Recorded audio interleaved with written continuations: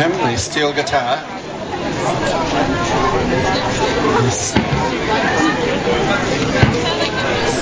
God, he's been around for yucks. You know?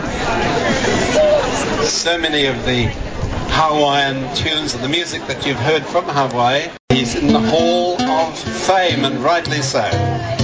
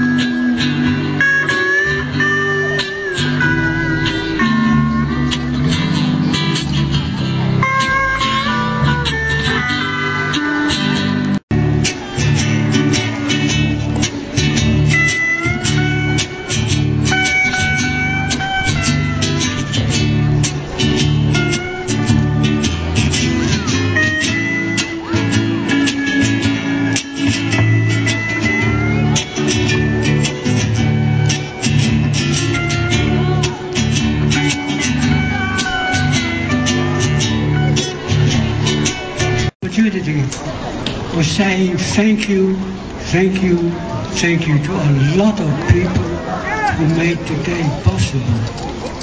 When Kevin Fogarty and I started this project about five years ago, we had no idea it was going to grow like this. So we're very pleased to know that the ASB Bank came and helped us